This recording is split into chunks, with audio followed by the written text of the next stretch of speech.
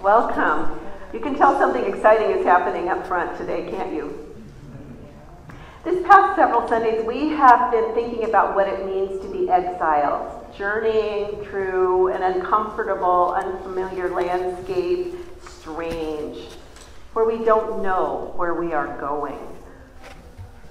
A few years ago, my oldest daughter and I drove from Phoenix, drove a car from Phoenix to Rochester, New York. We were helping another daughter move.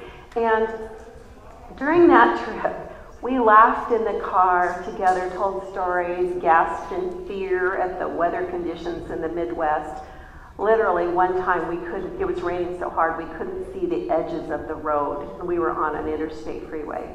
Everybody was zipping past us at I don't know how fast. It was, it was really frightening. But um, during this trip, we got lost multiple times got back on track, and we decided that our motto was if we get lost, we can get found again. Because this is before smartphones and Google Earth, and so we were just using the old fashioned maps, you know, the kind you have to fold, and you say, oh, it's not on that side, it's on this side, and you flip it and it's upside down, and you don't know which direction you're looking at. I see some of you nodding your heads. So we had to rely on maps that you had to fold and unfold, and um, on face to face voice instructions. So, you know, things were a little uncertain for us. Well, all bets were off towards the end of our journey. We got to Rochester, New York, unloaded all their stuff into their apartment, and then we were headed off for the last leg of our adventure for the summer, which was driving to JFK Airport in New York City. And all I ever knew about New York City was what I'd seen on television or read in books, and it was frightening. I was really scared. And my uncle, I had two uncles who were commercial airline pilots, and I called Uncle Dale and I said, uh, What's the best way to get to JFK Airport? And he said, Take a train. he said, I have been there, and there are monsters. And I went, well, we, we can't do it. We actually did try to, to book a train. We couldn't do it. It wasn't possible. So um, there we were having to do something that we didn't know how to do, and we were so scared. And there really were monsters. We made it to the airport, obviously, and here I am. We made it back home. But have you ever felt like that? That you're looking for monsters around the corner? I feel like 2020 has kind of been a year like that, don't you? Um, so, in this landscape, this calendar year, this election, all of the tornadoes, the hurricanes, the murder hornets, the poisonous caterpillars. I mean, it's just crazy. We have monsters around around every corner, and we just are afraid to even open another door sometimes. But here we are. In this book we've been reading, First Peter, there's one word that he mentions over and over again, and that is the word hope. And so we are a people of hope, aren't we? These past few weeks, we have been listening to the Apostle Peter, a loving father, a pastor who cares about his congregation, but his congregation is living in exile. And I remind you to look at the first verse, first two verses of chapter one, and you read, to all God's family scattered. And then he lists the names of the, the country where all the believers have been shunted off to because they have been driven out of their homes. They are truly exiles. I mean, even more than we have felt like this in this crazy year. So he cares about his congregation. They've been scattered throughout the known world. And this loving pastor uses words like past, from the past the called, the elect, the chosen, the redeemed, a chosen race, a royal priesthood. And then he uses words that refer to the future. He talks about inheritance, a glory to be revealed, exaltation. But Peter's focus is not on these people's past or on their future. The whole message is about the now.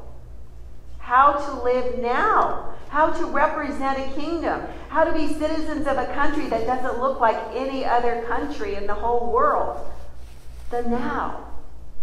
Peter tells us in chapter 1, verses 14 and 16, but as obedient children, you must be holy in every aspect of your lives, just as the one who called you is holy.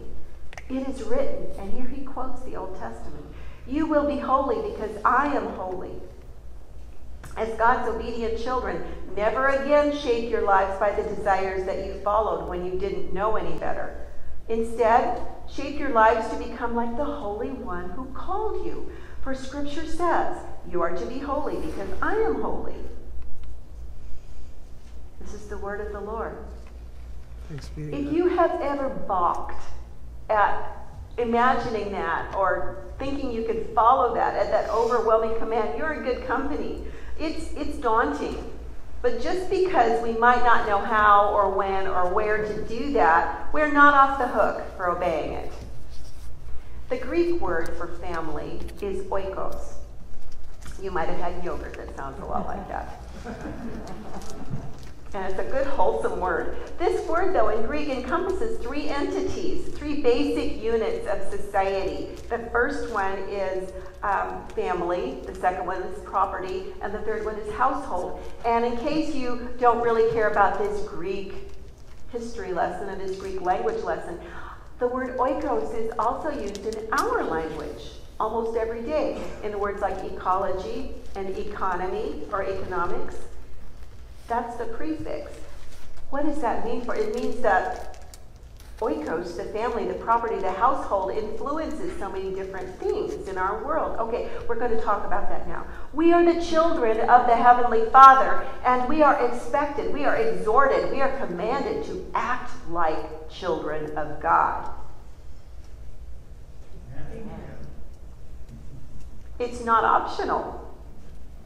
This week we have a unique and important opportunity to behave like children of God.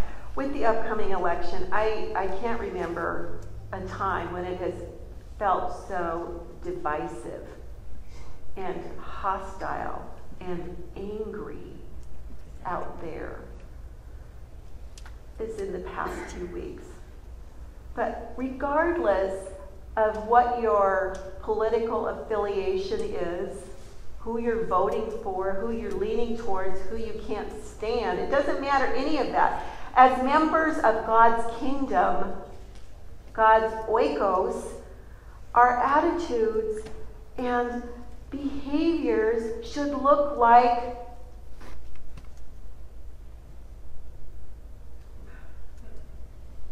fruit. Thank you. fruit. Fruit of the Spirit. What are the fruit of the? It's not fruits, it's fruit. The fruit of the Spirit love, joy, peace, patience, kindness, goodness, faithfulness, gentleness, self control. Those nine attributes, those nine characteristics, that's what we should look like. It's not easy, is it? A few years ago, our daughter and son in law had to have their home retiled.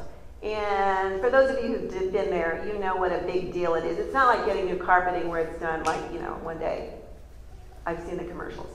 But tiling takes a while. And so they moved in with us during that time, which was fine. It was nice. It was lovely. I, I really do appreciate wholeheartedly intergenerational family living.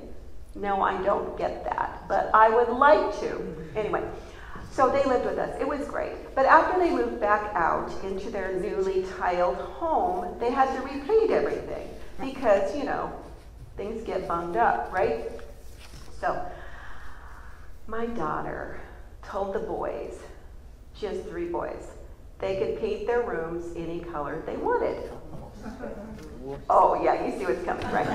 Um, which is fine. Willem, the youngest, has a room to himself. No problem. I can't even remember what color he painted his room. But the two older ones, the teenage boys, shared a room. Not a big room, a small room. They each had a loft bed. So she said they can paint their walls the color, any color they wanted to. And then she asked me to take them paint shopping. because she's a peacekeeper, a peacemaker. She didn't want to be involved in this. So she asked me to do that. Insert head banging here. And I went, okay, I guess. If they promise to do. All right. So I'm sure you can imagine the inherent difficulties. Isaac, the oldest, has bright fire engine red hair, which I don't believe that influences your personality, but Anyway, he, he's majoring in biology and philosophy with a, an aim toward global justice somehow. He's very analytical, very logical. Ira is an artist, and he's extremely talented. Well, you can't imagine two more opposite personalities sharing a room. Okay, I'll stop. I love my grandsons. They're wonderful. As we got into the car, I said, okay, here are the ground rules. We will not criticize anybody else's choices. You are both wonderful. I love you to the moon and back, both of you. And if I like this color better than this color, it doesn't mean I like him better than you, because I'm not going to tell you which ones I like. But just because you don't like somebody else's choice does not give you the authority or the privilege to criticize that choice of color. But here's the thing you'll be looking at it forever. right? You're sharing a room. So, wouldn't it be a good idea if you could talk about this in a civil way and discuss it politely, kindly, right? so we went to Ace Hardware and looked at those thousands of tiny, tiny little pieces of colors and walked around. You know, this is like pulling out, out teeth for me. It's like, uh, I don't know if that what that's going to look like on a whole wall. Don't ask me again. Okay? So I wasn't sure if we'd have any success at all. So we are looking at all these little pat- patches, how, how, how the, this color might absorb the light or reflect the light. I mean, their room was kind of dark anyway. So it's like they found the colors. Unity was achieved somehow. And I bet you want to know what colors they chose, right? You would never guess. They each chose a different shade of aqua. Who knew? I think it was a God thing. and they were okay. As far as I know, nobody died. And they, la- they lived and they survived somehow in that room. Anyway, okay, remember that Peter wrote this love letter to people who were scattered all over the world? And some of their hardships were due to the government, to the empire, the ruling powers. Kind of how we're feeling today. I don't care if you're a Republican, Democrat, Independent, or, or Green Party, it doesn't matter. We can we feel authorized to lay blame at the foot of the government for whatever. Haven't we done that? Even if we haven't said it out loud or posted it on Facebook. We, we feel like we can blame other people for the way things are going, right? So, the ruling powers of Peter's day viewed the church as resident aliens to be managed, like things, like objects. They were definitely strangers in this world. So now we're going to read from the book of 1 Peter chapter 2 verses 13 through 17. Please rise to honor the reading of God's word. For the sake of the Lord, submit to every human institution. Do this whether it means submitting to the emperor as supreme ruler or to governors as those sent by the emperor.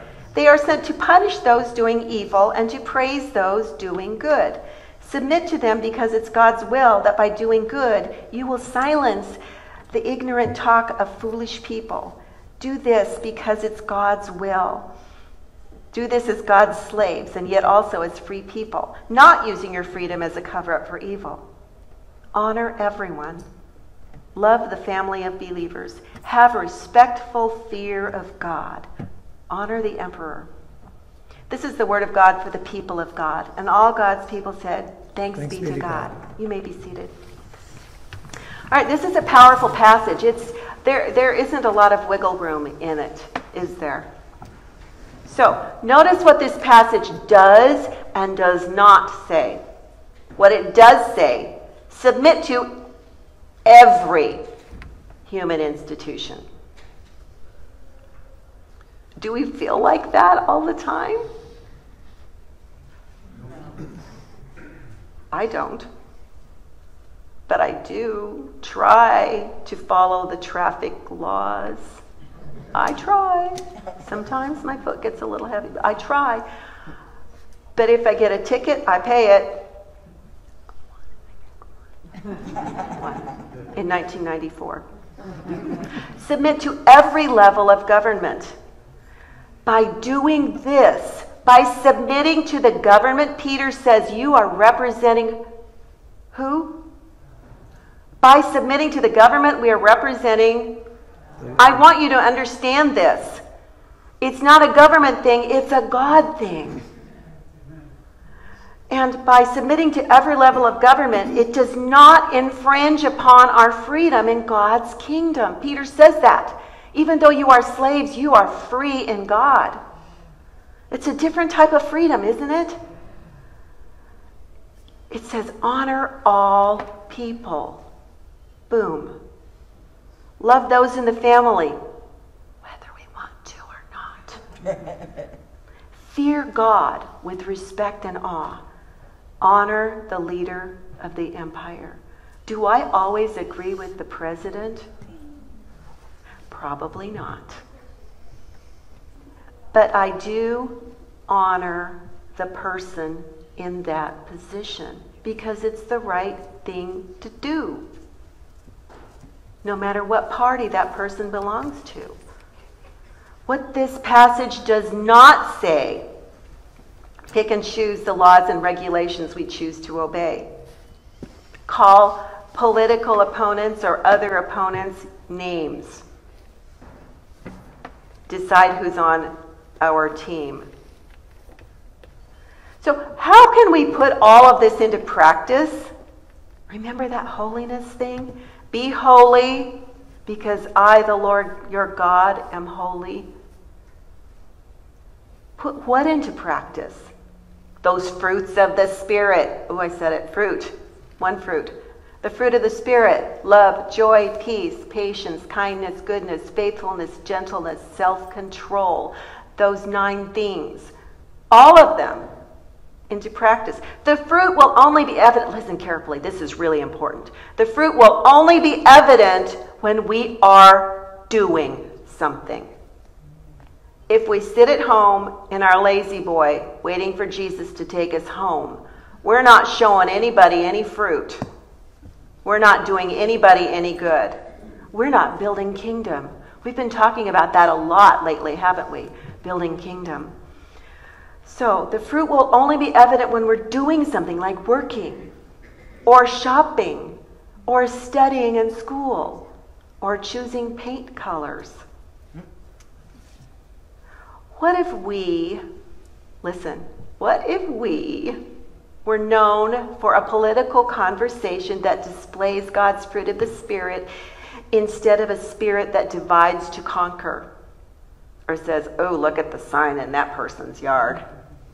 What if, what if we had a positive political presence instead of causing division? What if we pursued a political vision that is rooted in loving our neighbors instead of loving our own stuff or our own opinions? It's really quiet in here. What if we pursued or cared about all of God's creation, refusing to choose between economics and the environment. So it costs a lot of money to take care of things. Why should that be a big choice for us? What about We refuse to choose between national security and national hospitality. What if we refuse to choose between justice and peace? What if we were motivated by the self giving love of Christ more than self interest, more than what's in it for me? The oikos metaphor in the first book of Peter suggests that identity needs a place to happen. Remember, one of the three um, characteristics, characteristics of oikos was the home, the place. It's family, it's your possessions, it's your home. Our identity is more than just who we are. It's where we live and breathe and work and play. We read about this so many places in the New Testament. In Matthew chapter 9, verses 6 and 7, we read, But so you will know that the human one, Jesus, has authority on the earth to forgive sins, he said to the man who was paralyzed, Get up! Pick up your cot and go home. The oikos, where this man belonged. The man got up and went home. And then in Matthew chapter 10, Jesus says, Go instead to the lost sheep, the people, the house, the oikos of Israel. And so many more places. When you read the New Testament, I want you to be looking for that. How many times do you read a, a phrase or a word that could mean the oikos, the belonging of the people of God? Remember what it signifies, what it means to us like when those two teenage boys chose to allow for each other's paint colors. Now, they were under duress. I did tell them that if they fussed at me too much, we would go home and we would not be buying paint. So there were consequences. But they did choose to be peaceful in the process, and I was ever so happy with them. They promoted peace instead of violence in their oikos. And that promoted peace in the oikos of their family, their home. Now, don't laugh at the smallness of this example. Yes, it's small. But I'm sure that each of us has been tyrannized by some family member, right? By bad temper or bad attitudes or just pushiness or passivity, haven't we? People can be unpleasant in many different ways. We are very creative that way. So, um, the prophet Zechariah tells us in chapter 4, verse 10. We don't read Zechariah very often, but maybe we should. He says, Do not despise, do not despise these small beginnings, for the Lord rejoices to see the work begin. Amen. Peacemaking is God's business. It is. Peacemaking is God's business. And because it is God's work, it is our work too. What if I look at my neighbor's wall and I absolutely hate that color? Actually, this, is, this just happened. One of my neighbors painted his house, and I don't even see the color in here. It is just the most vibrant tangerine orangey red you have ever seen in your life. The entire house and his brick wall and everything. I thought, I hope that's primer and it's not. Um, and I thought, how can he look at that every day and not just go, ugh? But you know what? He's the nicest guy, such a good neighbor. I could look at that and go, that's just the most hateful color, and I hate looking at it, and I don't even want to walk down that street anymore. But I have a choice, don't I? I can say, well, that's just, a, that's just my opinion. And it is. Obviously, he likes that color. So, my opinion doesn't really matter in the grand scheme of things. It's an opinion. I can get over this. Sometimes it's easier than others, I agree. But, right? So, God made each of us different. Wouldn't it be boring if we all looked the same and acted the same and talked the same and walked the same? Oh. Yeah, it'd be easier to get along, but what's the point? Right? Okay?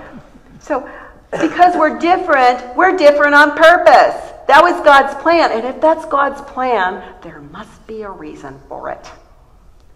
So it's our responsibility to allow God to use our differences, our diversity, to create something new. And to look at our neighbors as God loves. How does God look at our neighbors? Here's a theological question What does God think about you, or you, or you? What does God think about you when He looks at you? Does He go, ew? No. God says, oh, that's good stuff. Well, guess what? God says that about your neighbor, too and the person you just had that argument with in the line at Walmart, and the person who stole your shopping cart, and the person who, you, you can tell I don't like shopping. you know, anybody you have a disagreement with. God loves them just as much as He loves you. Isn't that hard to understand sometimes? How, God, how can you do that? Well, guess what? We're family, we're oikos. We need to live like it. Our identity is formed by spending time with those who teach us and shape us, and by us teaching and shaping. And that happens in community. And community is looking a little different these days, isn't it? We don't have the opportunity to. I'm preaching to people who are out there somewhere, sitting on a couch or in their kitchen with a cup of coffee, or walking while they listen to the church service. Our community is very different, and yet we're still community. We're still oikos. We're the family of God. So while the shaping of each other is certainly the role of the church gathered in worship, it's also a household function. Remember the three parts of oikos family, possessions, house. Say them with me family, possessions, house. Those have a multitude of expressions in our lives, right? One hour a week gathered here together or online is not enough to shape our spiritual personalities, our spiritual characteristics. It's not enough. We worship the Almighty God here for this hour. And I praise God's name that we have the freedom, the ability, and the desire to do that. I am so glad to be here with all of you. But we need more. We need Monday worship. We need Tuesday worship. We need Wednesday worship, and on and on and on. In this busy world of exile, how do we live as a family of God those 167 other hours of the week? We're here one. There's 167 other hours. I think we can do a better job of connecting Sunday to Monday.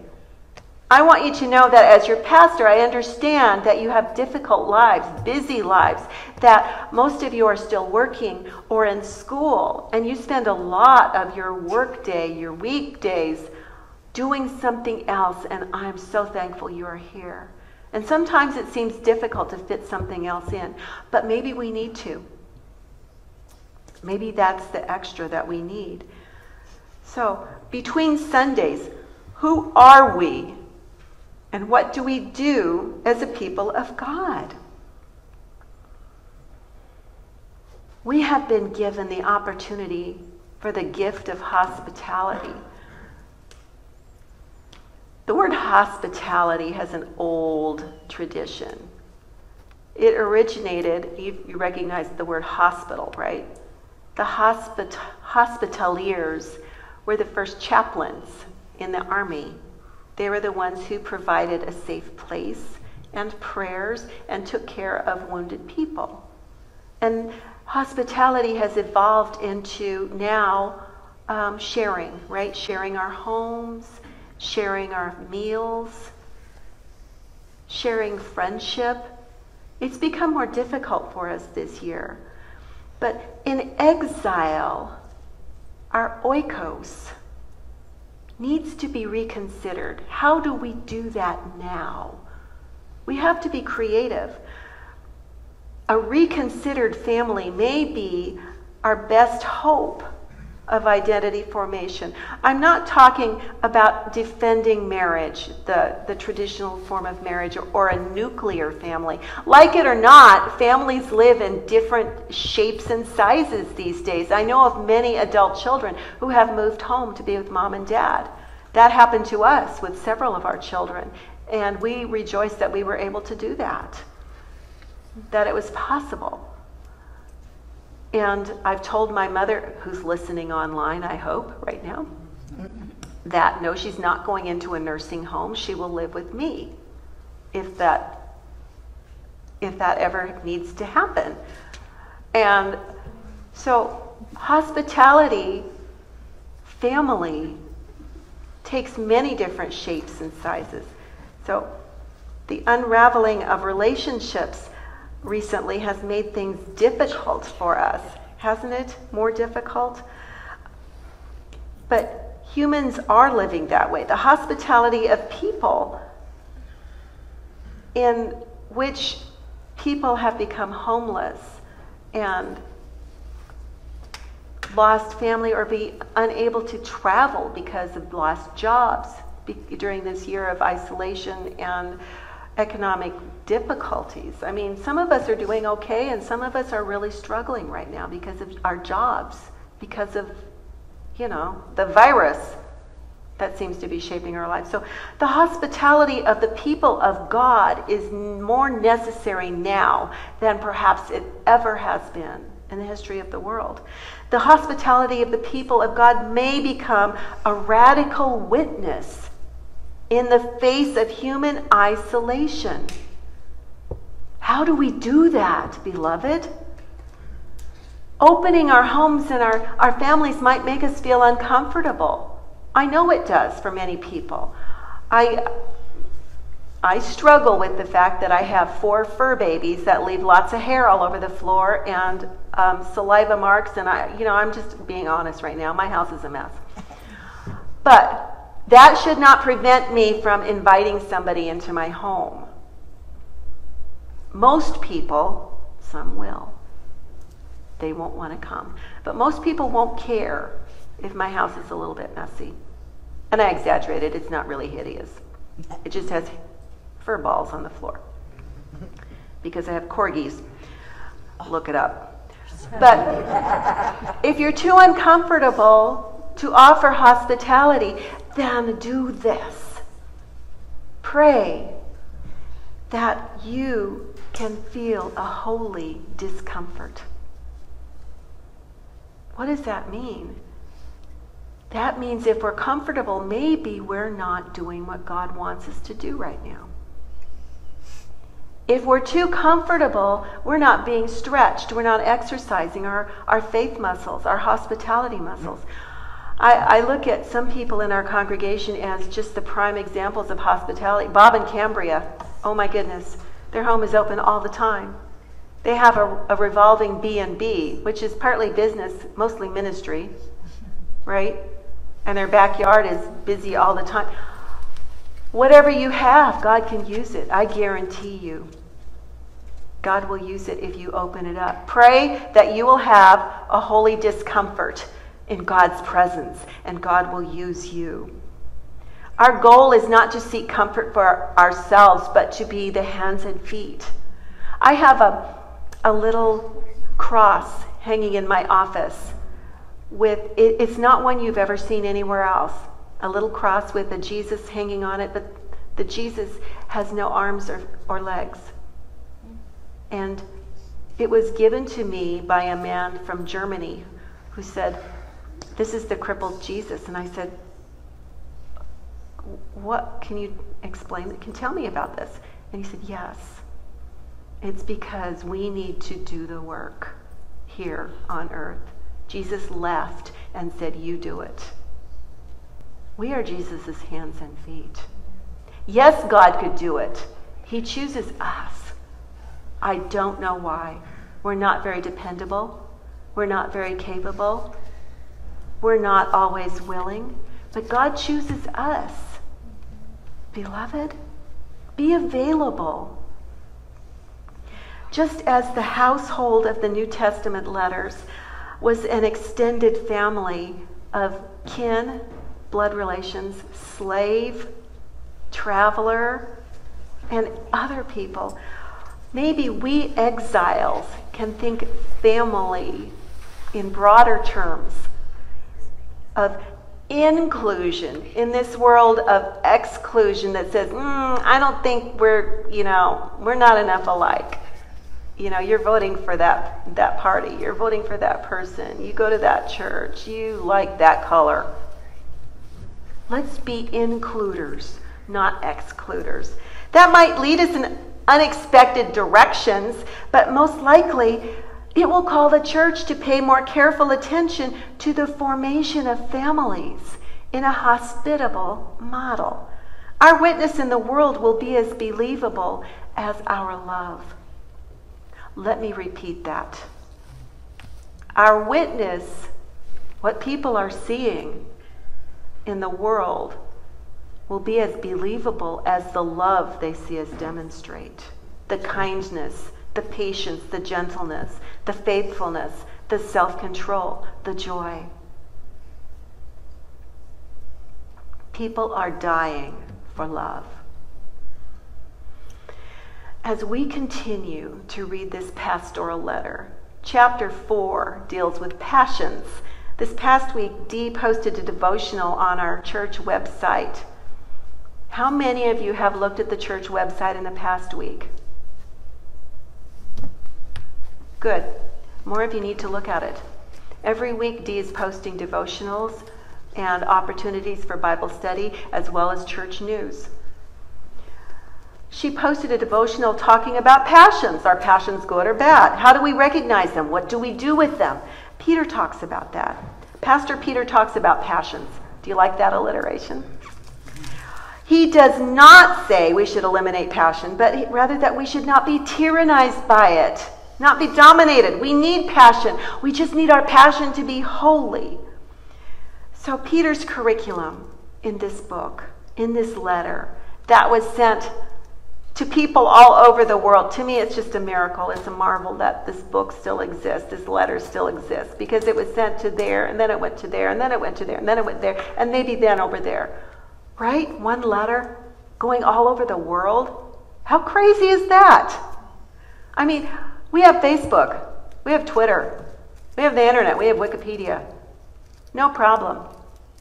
What about if you had to walk 20 miles and share it with somebody and say, read this, and then you had to go somewhere else and share it with somebody else? That's how we have this letter. It's a miracle. It's a God thing. Read it. It's for you, it's for me. So his curriculum is prayer, love, hospitality. Then what do we do with the hospitality? The stewardship and service. That's our curriculum as the people of God prayer, love, hospitality, stewardship, service. So, where are you for those 167 hours between Sundays? Living in exile gives us the perfect mindset to know how strange it feels to be the stranger in the world and the importance of living a life of holy love. So, right now, I want you, each one of you in this room, each person in this room, to think how can I, myself, live those other 167 hours and show my witness to the world that needs to hear about love? Let us pray. Gracious Father, this is a hard thing to think about because we're opening ourselves up to something completely unknown. Or maybe some of us already know what you want from us. But God, help us to be honest with you and with ourselves and learn how to listen better to you and how to know as your oikos, how to use what you have blessed us with to bless those around us. All these things, God, and so much more, we pray in the holy and mighty name of our God. Amen and amen.